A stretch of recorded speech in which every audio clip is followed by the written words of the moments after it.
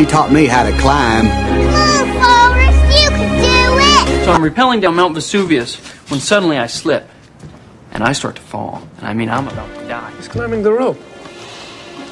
And he's gaining on us. Inconceivable. I just wanted to shout it from on top of a mountain. Welcome to the Campfire Cast. Hello? Anna. Hello. Hi, how are you? Good. How are you? Very good. Um it's good to finally talk, huh? Yeah, totally. Here, hold on one second. Yeah. I don't know how you turn the. I'm not very good with this. It's all right. Hold on. There we go. Okay. What's up? Hey, how are you? I'm good. I'm Um, here. I'm chilling in my van, so it's kind of dark. No way, that's so rad. Yeah. You you ch- you're chilling in your van like you do when you're like I do. Do you really want to see? I'm organizing. You're gonna laugh if I show you this. No, let's Okay. let's see it all. Okay. I'm down. Hold on. Let me figure out how you turn the camera around. I'm organizing in a parking lot Wow. From Post Lake Expedition. That's so cool. Where where are you right now? Colorado, Um, right? yeah, I'm in. Uh, let me close this. It's hot out. I am in um, like right outside of Boulder Okay. because I. So I got back. Thank you so much for dealing with all my shenanigans. No, I I'm- I'm usually more reliable. I I just like um I think we were supposed to talk on Friday hmm and I was coming back from Indonesia back to Delhi and things just got like all like hmm super crazy. Yeah, yeah. that that totally happens. I understand. Um, Yeah. It sounded like pretty pretty hectic in your email. Yeah, it just like I thought when I got back to Delhi, the problem is just the internet. Yeah. Like it's not uh, strong enough to do Skype. hmm So, and then like sometimes it's there and sometimes it's not, and Mhm. like it's just, yeah, it's totally Crazy. crazy. Yeah, Yeah. but hey, that's the way it goes. So yeah, thank you very much. No, I, I'm. I mean, I. I honestly, I got nothing to do right now, and I was just stoked to talk to you. Not even for the gear co-op, just for like, because I want to talk to badass climbers all the time. Ah, oh, that's that's awesome. yeah. Well, anyway, it's nice to finally meet you. Yes. It's good to meet you And- too. Um, Yeah. Yeah, I. uh Yeah, I. I I'm stoked to have you. Um, what does uh I don't know, just like I'll I guess I'll start off just. Um, first of all, you're coming to beer and bouldering, right? Yes, Are you I'm super excited for cool. that. Cool. Yeah, I'm. I'm. So I fly out of. Um, hold on, let me make the sun go away. I don't know if that's better or worse. So I fly out of uh, Colorado tomorrow, Okay. um, and uh, into Cali, and then I actually work in Oakland. Okay. That's why I'm. I'll so I'll be in in Cali tomorrow night. Very cool. And then I work in Oakland uh, for four days. I'm Mm-hmm. a nurse in the ER. Cool. Sometimes when I'm not climbing, that's what I do. But these days, I'm like doing less nursing and more climbing, which is super cool. That's really cool. Yeah. So after, um, yeah, after that, then I'll come down to Orange County. I'll come down to see you guys. Cool. Yeah. Yeah. Awesome. Super psyched. Yeah, yeah, we're stoked to have you. Um, so I was doing some studying, and I've, Uh-huh. I've actually I don't know I've followed you on Instagram for a little bit, but um, so you're what La Sportiva athlete, camp athlete, uh, super badass, uh, alpineer, mountaineer, uh, lots of six to eight thousand meter peaks you've bagged that I've read up on. I mean, correct me if I'm wrong. This is just my research. Yeah, no, this is cool to hear. Yeah. I, I, I've never really heard like somebody else's interpretation. So of what of what I do. That's kind of cool. Yeah. You know, it's really yeah, I mean, that you're pretty spot on. That's what I really like to do. Yeah, yeah. Um, and you're, yeah. are, are you a Cal- California native as well? no, I'm actually I grew up in Ohio. Okay, cool. Yeah, so I grew up in Ohio, and um, I grew up on a farm in Ohio, so it wasn't even really anything to do with climbing. And uh, then I went to I went to college at CU Denver, okay. and that's when I started climbing. Yeah. So I was like, I was pretty. I'm 34 now, so I was like 20. Yeah, I was 20 Yeah. when I started, Very cool. and um, yeah, I just started rock climbing, and like the first people that I met when I went to CU Denver, they invited me to go camping. hmm I don't know if you want to hear all this. No, I. It's not. awesome. Okay. Okay. Cool. Keep it up. no, we're good. wait a second. Let me make sure you want to hear all this story.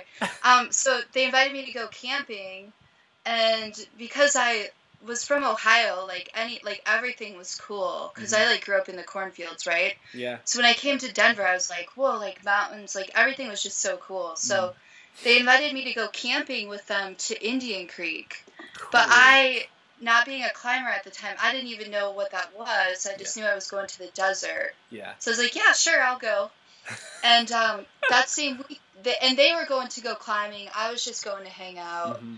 And that same weekend, like I, I like saw climbing and everything, and you know, tied in to a rope, and um, they, you know, taped up my hands and everything. I was like, su- I'd never done anything like that before. Super. That was the first time I ever climbed Yeah. and they put me on super crack which is this like classic desert hand crack Yeah. Yeah, I've heard. and i flat out all over but i got like super hooked on it i was like this is really cool this is really like um you know like something that i wanted to do more of so Mhm. that's kind of how it all like started but wow. yeah and then from there it just kind of like progressed like i was just in the right spot at the right time you know Mhm. living in in denver and then after denver i moved up to boulder um, and just you know kept climbing kept meeting people and learning who would teach me how to climb and Yeah. yeah so it's kind of interesting for me like now that i know more about everything like i started like outside crack climbing like i had never gym climbed before like Which is crazy. and I didn't think, gym yeah. climb until probably a good like four years into my climbing. Like I So just I rad. just trad climbed, and I just thought for so long that like trad climbing was like climbing, like that was just like I didn't know about sport climbing. Yeah. But now I love sport climbing. It's Mhm. super fun. Yeah. Yeah. Yeah, That's so cool. really good. That's like the exact opposite of what everybody else does, especially around here. You know. I know, yeah. I mean, it's just like it's so it's funny how thing like it's different for everybody, you know. But like now I know that, and I'm like, oh my gosh! And soon after I went to Indian Creek on that first trip, um, I went to Yosemite. So for a long time, like I would think that climbing like entailed like doing a multi-pitch route, like 12 pitches, was like going climbing. Yeah. Like I'm just gonna go climbing, and it was Yeah. just like. Yeah, it's just kind of how it all worked for me, which was super, super interesting in perspective. That's when I think back about it. Right on. right on. That's so cool. Yeah. Yeah, totally. Yeah. Totally.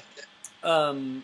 So, I mean, tell tell us a little bit about your trip, or tell me a little about your trip. There's no us here. Yeah, oh that's okay. No, so um the past trip that I just did, Yeah. uh it was really good. You know, John, it was really it was a really good trip. Like Yeah. it was one of the best that I've done and I've done a lot. So I really like like my climbing that I do now. I really like to go to like these super remote places hmm and climb um, like unclimbed peaks or Yeah. new routes that nobody really goes to. So it's like the whole adventure of like the research in the beginning of like finding the route, finding mm-hmm. the area, then like how do you get there? Can you go there? And like has the route been done or has the peak been climbed? And just like the whole the whole idea of it all is just like fascinating to me. I love it. Mm-hmm. It's like such a process. It's Yeah. so cool. So and sometimes like given that process like you might go and like the area there's nothing it's not what you thought it was going to be like you thought it was going to be like really great. And then you go there and it's all like choss and like you've traveled super far and then Yeah. there's like nothing there, you know, like. I could imagine. And this time we went out and it was like the opposite. Like I didn't really know what we were gonna find, and we found just like, oh man, it's so cool out there. It's just like endless mountains that haven't been climbed before. Because that area in the Kashmir um, had been closed for a long time. It opened in 2011 for foreigners to come through because it's right. We're like 90 miles from the border of Pakistan, and they've Okay. been at war yeah. because that's the land that Pakistan and India fights over. So like Mm. when that it used to be part of Pakistan, Mhm. and then in I think it was 1947 or something like that. That war, India it got remapped and it um, was given to India, and Pakistan keeps saying it's their land. So that's what that whole war comes from. Yeah. Um, so it's just like it was super pristine, and like the Kashmiri people haven't seen a whole lot of foreigners yet. Mhm. So, um, a lot of them have never seen anybody from the states or from Europe or anywhere. So that was super cool. They're Yeah. super friendly people. It's Oh, all cool. Buddhist people. Um, super nice and welcoming, and uh, we didn't really. We had no idea. There's like a couple maps for the area, but they're not real detailed. And there was one article that was written by somebody from the Indian Mountaineering Foundation um, that kind of talks about these peaks, and that's where we got the information about going there. But then when we got there, we realized that the information in this article uh, was incorrect. Mm. So, like the valley that we went into for the peak that we thought we were going to climb, like that peak ended up being two valleys down. It wasn't even in that valley. Oh my god. So, and we were like, and this was like a process, like we had horses and everything take us in, and we had to cross the Suru River. So, like, we were like stripped down to our underwear, like carry the packs over your head, like through the river. The river's like waist deep, you know, almost chest deep. Wow. And so we like get all of our stuff in there, you know, for four weeks, like all of our equipment and food and all that stuff. And um, we're like looking around for this peak, and then we realize that like it's not there. So we're like, well, we're gonna have to find something else to climb. And uh, we did a lot of recon and uh, learned a lot of things about that valley. And then we were fortunate enough to have good weather and we were able to climb on uh, uh, the peak that the locals called Tare Parbat, which means star peak. It kind of looks like a star. oh wow. Cool. And um, we, yeah, we got super lucky. We had good weather. Everybody felt good with the altitude. We had to acclimatize, so we had a high camp. So we had to go up to high camp and then come back down, go back up, and then climb and figure out the route. The route was kind of straightforward that we wanted, that we figured out. It wasn't, um, it wasn't too bad. We ended up taking a more direct line just because of the rock quality was a little bit better. Yeah. Uh, super good ice conditions. The ice was actually the best part of the climbing, the most Cool. stable, the most secure.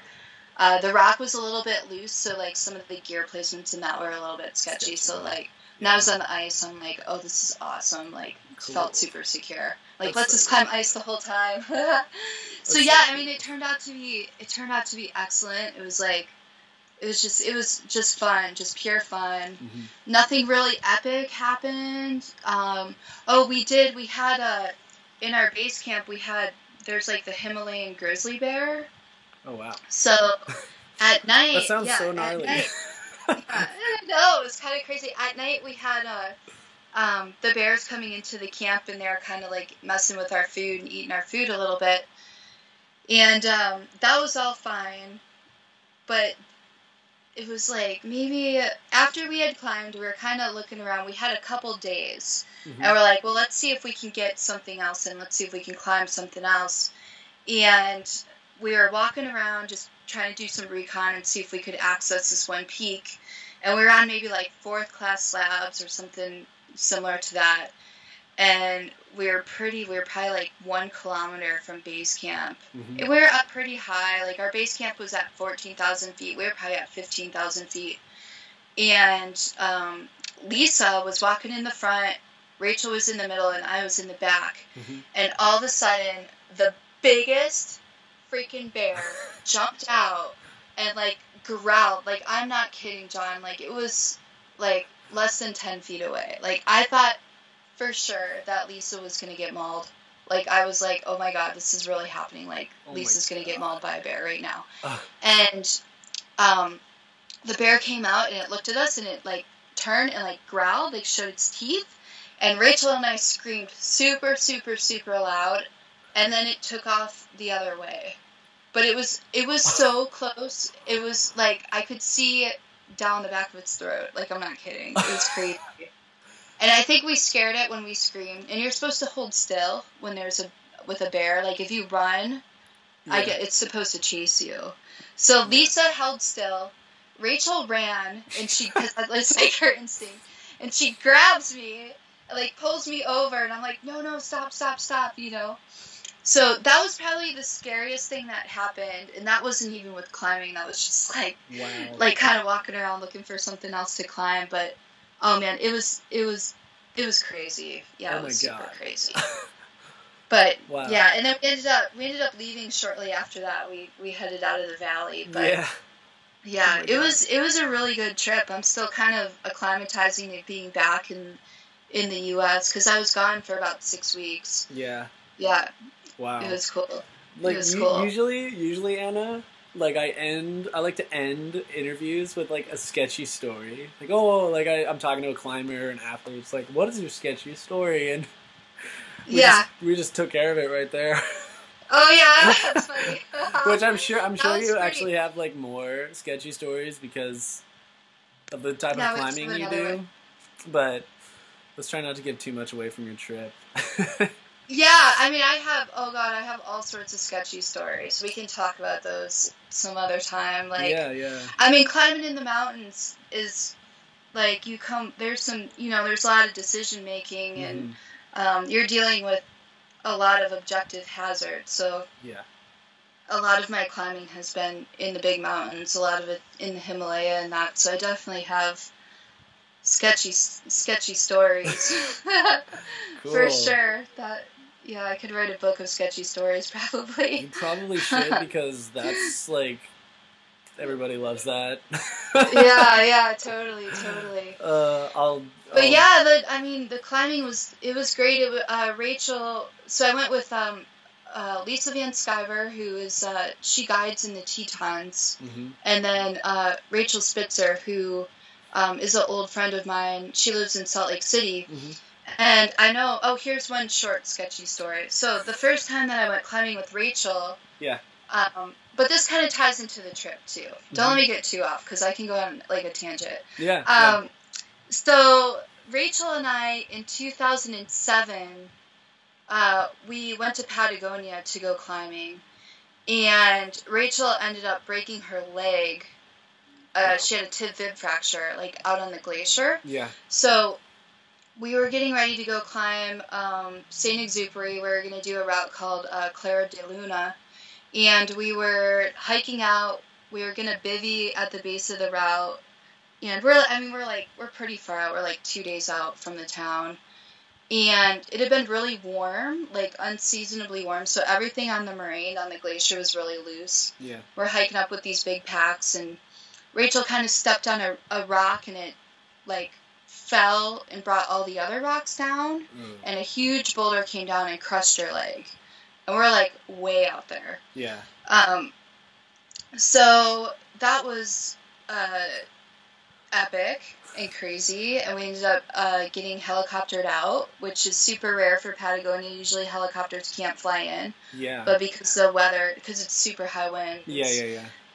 But the um, the weather had been so stable that the military actually flew her out, and I went with her, and we spent like a week in the in the hospital in Calafate, and then she was able to go home and get surgery. But um, the point of that story, besides being a sketchy story, was that Rachel and I had always talked. Like since then, she always wanted to go climbing in India Oh yeah. and do a first ascent out there. Mhm. So she had a bunch. You know, she got married. She after after she broke her leg, she had like a two year recovery, and then she finished nursing school, she got married, all these things. So like Mhm. kind of the India trip kind of got put off. Yeah. And then this year, uh, in the beginning of the year, I got an email from her, and she's like, "Hey, do you want to go to India?" And I'm like, "Hell yeah, I want to go to India! Like I'll go for sure."